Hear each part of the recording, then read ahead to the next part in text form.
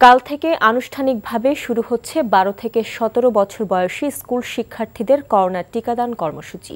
সোমবার সকাল সাড়ে নটায় রাজধানীর মতিঝিল আইডিয়াল স্কুলে এই কার্যক্রমের উদ্বোধন করবেন স্বাস্থ্যমন্ত্রী ও শিক্ষামন্ত্রী। তবে যথাযথ শীতাতপ নিয়ন্ত্রণ সুবিধা না থাকায় বারোটির বদলে আপাতত রাজধানীর আটটি বিদ্যালয়ে এই টিকা দেওয়া হবে। আর প্রস্তুতির শেষে দ্রুত একুশ জেলায়ও স্কুল শিক্ষার্থীদের টিকা কার্যক্রম শুরু হবে বলে জানিয়েছে স্বাস্থ্য অধিদপ্তর। রিপোর্ট করছেন রকুন উদ্দিন চোদ্দই অক্টোবর মানিকগঞ্জের চারটি বিদ্যালয়ে একশো বিশ জন শিক্ষার্থীকে পরীক্ষামূলকভাবে দেয়া হয়েছিল করোনার টিকা। কোনো সমস্যা না পাওয়ায় সোমবার থেকে আনুষ্ঠানিকভাবে শুরু হচ্ছে বারো থেকে সতেরো বছর বয়সী শিক্ষার্থীদের করোনার টিকাদান কর্মসূচি। রাজধানীর বারোটি বিদ্যালয়ে এই টিকা কার্যক্রম শুরুর কথা থাকলেও ফাইজারের টিকা দেবার জন্য যথাযথ শীতাতপ নিয়ন্ত্রণ সুবিধা না থাকায় আপাতত আটটি বিদ্যালয়ে দেয়া হবে এই টিকা। সোমবার রাজধানীর মতিঝিল আইডিয়াল স্কুলে উদ্বোধন করা হবে এই কার্যক্রমের।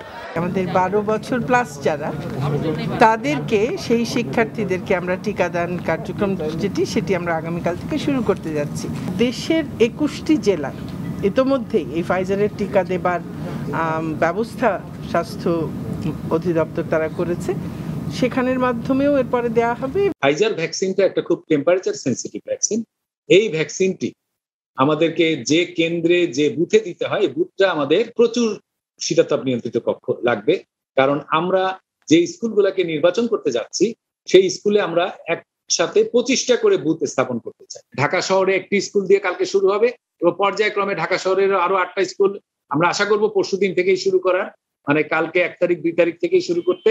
বারো থেকে সতেরো বছর বয়সী শিক্ষার্থীদের টিকা পেতে বিদ্যালয় কর্তৃপক্ষের মাধ্যমে নাম ও জন্মসনদ তথ্য প্রযুক্তি বিভাগে জমা দেবার পর সুরক্ষা ওয়েবসাইটে নিবন্ধন করতে হবে। প্রথমে একটা তালিকা আসতে হবে স্কুল থেকে আইসিটির কাছে। আইসিটি সেই তালিকাটা সন্নিবেশিত করে সঠিক করে দেখে চেক করে তারপরে এটা তখন আমাদের সুরক্ষাতে দিয়ে দিবে এবং প্রত্যেক অভিভাবক অথবা স্কুল কর্তৃপক্ষ সুরক্ষার মাধ্যমে রেজিস্ট্রেশন করবে।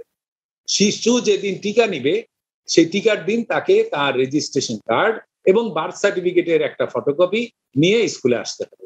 আপাতত প্রতিদিন দুই থেকে তিন হাজার শিক্ষার্থীকে টিকা দেওয়া হবে। পরবর্তীতে দিনে তিরিশ হাজার শিক্ষার্থীকে টিকা দেবার লক্ষ্যমাত্রা আছে স্বাস্থ্য অধিদপ্তরের। Rokon Uddin, NTV news, Dhaka.